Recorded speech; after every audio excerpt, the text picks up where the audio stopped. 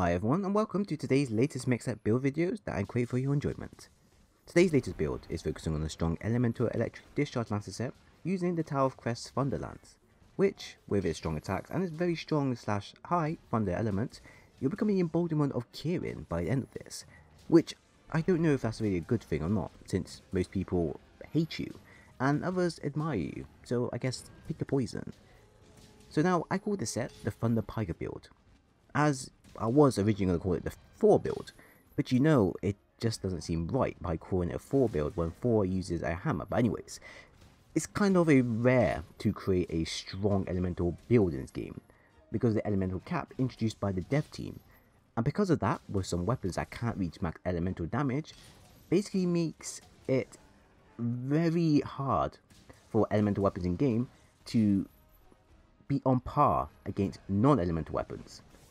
Now, use elemental weapons are still fun and still fine to use and they're still viable, but 9 times out of 10, using a non-elemental weapon will be a lot more better because the damage is much more higher and those weapons there don't have a damage cap compared to elementals.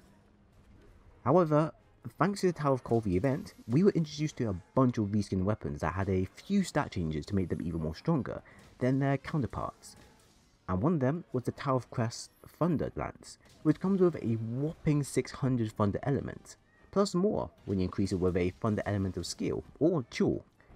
Now I personally believe that this weapon is the strongest Thunder Lance in game, currently, just because of its Thunder stat alone, and it's also pretty generous in terms of sharpness. Like, for many people who don't know, it has a bit of blue sharpness that you can extend, but its green sharpness is really long, enough to last you for an entirety of a fight and I was genuinely lucky to grab this weapon at the end of the event before it disappeared. So I decided to play around with it, experiment with it, creating a build based around its strengths.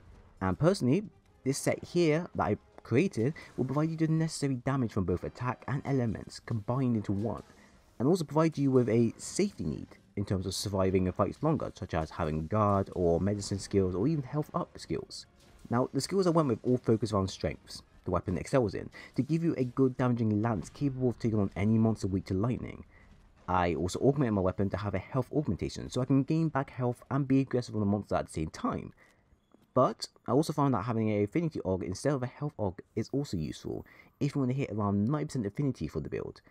But with what I currently have here, I have around 100, but I only recommend you put an affinity onto your weapon if you don't have the following jewels that I have. So here are the following skills used. I have Thunder Attack 5 to max out the thunder damage on the weapon, which makes it lethal against monsters weak to thunder. Handicraft 1 for the small boost in sharpness, which is really more of a byproduct of having the Kulve waist.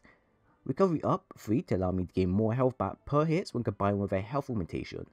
But if you're not using a health augmentation, then the skill will only be useful when you're using your potions. So it's more or less up to you to decide on whether to keep it or swap it out for something else. Free Element 3 to fully unlock the weapon from its hidden stat.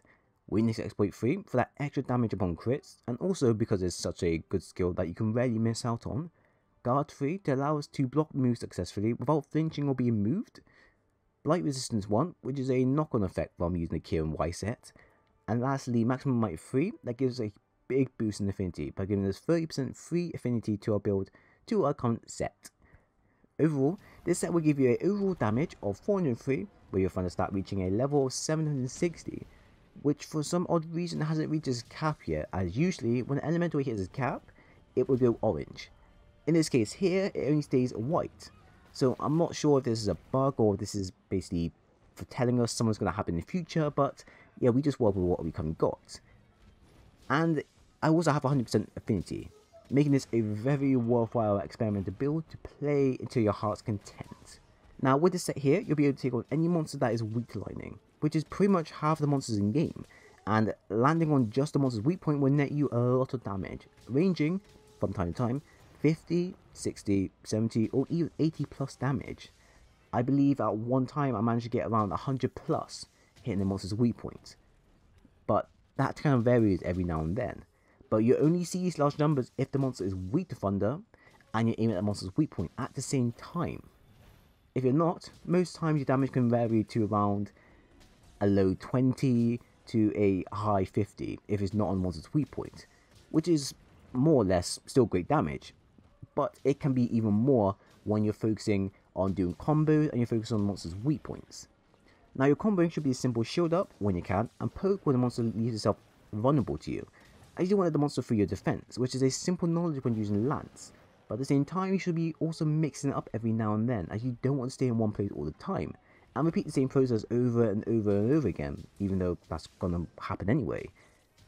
So really, you're gonna be doing the standard three pokes, then dodge, then three pokes, dodge, or shield up, and repeat this process over and over again until the monster is gently down. Now, if you're aiming at a monster that is 3 star weak to thunder, and you aim at the weak point at the same time, and then let's say you get around, at best, 50 damage per hit, then that's a simple 50 times 3 equals 150 damage overall from that one simple combo. Which, once you get the hang of the combo and the flow of lancing, this can add up to be much more bigger numbers, as you'll be able to dodge and weave out the monster's attack much more efficiently, block when you can, and then it will allow you to be more aggressive.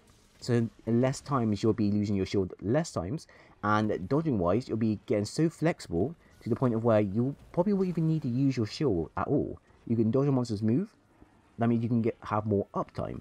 More uptime means more damage, and more damage means, I guess, better runs, if that's your thing. I would also highly recommend you use a Master the Art of Lance charge attack to close gap when tackling monsters. This here will allow you to do a bit of damage to the monster, but mainly close the gap so you can pull off damage much more quicker and efficiently, like you currently see me doing in the video. Also while you're at it, do dodge when you're not blocking, as a lance dodging move is really good when you know how to time it properly, as it can give you more uptime compared to when you're blocking instead. But like many things, it varies at time, as you won't always be able to pull this move off successfully, so do tread carefully.